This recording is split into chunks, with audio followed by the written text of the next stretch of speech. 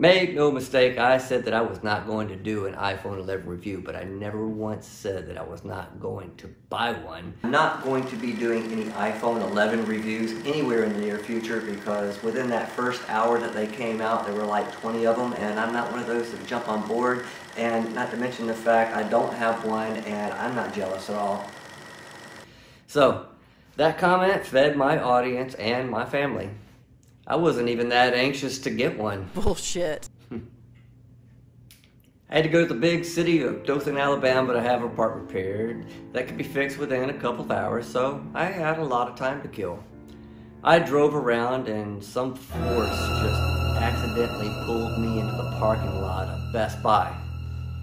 It was about to open any moment, so I just waited for a short time and then meandered around once it did.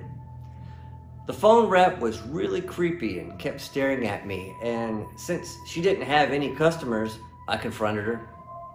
She told me she could sense that I was missing something. So I really felt like we already had somewhat of a connection, like a fatherly daughterly connection. Is daughterly a word? Hmm, who knows? She told me I needed a new phone and somehow got my information like a crafty little wizard. And You're a found naughty an wizard. upgrade. She then told me to call my wife and tell her the good news. You think this is strange so far? Well, my wife told me that our daughter's phone wouldn't fully charge to 100%, but to only 99%, and it needed to be replaced. So I absolutely agreed wholeheartedly. My wife told me to say the words, I want the new iPhone 11. I really wasn't sure what she was laughing about when she said so, so I refused because I'm in charge. uh, so I hung up and told the lady to go ahead with the upgrade. Now, this not being planned, she asked me which phone I wanted. As not to sound stupid, I just quickly threw out there the iPhone 11 Max Space Gray with 256 gigabytes. I didn't know what I was talking about, but something took over my mouth and spoke for me. Uh, it was surprising to me that she actually had that phone, but not in store, so it would have to be delivered to my home in a couple of days. No big deal, right? Well, two days had passed, so I got up and reset my phone and gave it to my daughter because that's what dads do. the afternoon hours came and the usual delivery truck didn't stop. So I checked my email to find it got delayed and wouldn't be here for another four days. Okay, that was fine. I was fine without a phone for that long.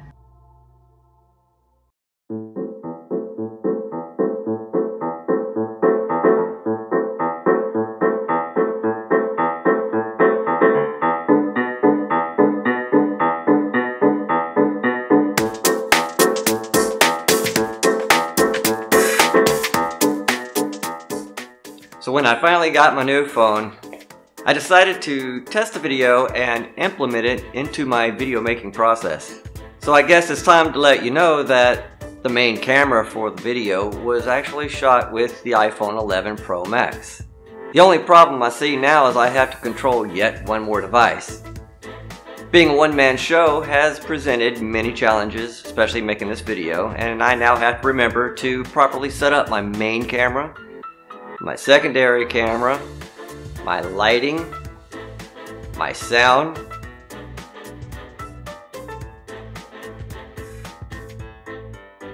my teleprompter, and just make sure everything is recording at the same time. I also have to spend a lot of time making sure that I control all of these people that are controlling these cameras and lighting and so on and so forth, such as my cameraman who does his own thing sometimes and I have to sometimes just set, set him straight and put him on the right path. Makeup decides to leave the room whenever they feel like, and that actually becomes a little annoying, and I keep having to chase them down. The director is a very demanding individual, and I would prefer not to work with him, but this is only temporary. Thinking all of this in post is yet another challenge, but any one of these things can ruin the entire process and cause the editor to have to make different choices when filling in gaps in the video. Things like power fluctuations, unexpected sounds like cars, doors, cabinet doors, people, animals, bug trucks, can throw off the entire thing. So, being that this is not an iPhone 11 review, let me know what you think in the comments down below uh, about my color quality and the video quality and the production itself and what you think I can do to improve it. But I do want to share with you the fact that you can also use your phone to make a good quality video and share that with your audience. All you need is the proper lighting, window lighting. I've got a little bit more lighting than the beginner would and I'm slowly building up what I have. But you can start with just that key light window and use your cell phone and you can make some really good stuff. Just make sure that you're telling your story and your content is good. So get out there and create and share your thoughts and enjoy telling stories. So if you like the video, please consider subscribing, hitting that like button, and if you didn't, hit the dislike button twice. And I'll see all of you in the next video.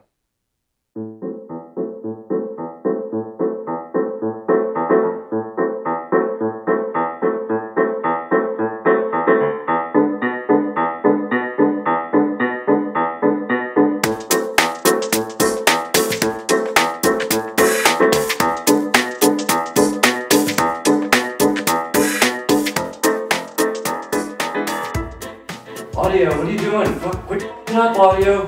Video, we alright? Good. what about second cameraman? We good? We good? Lighting? Good?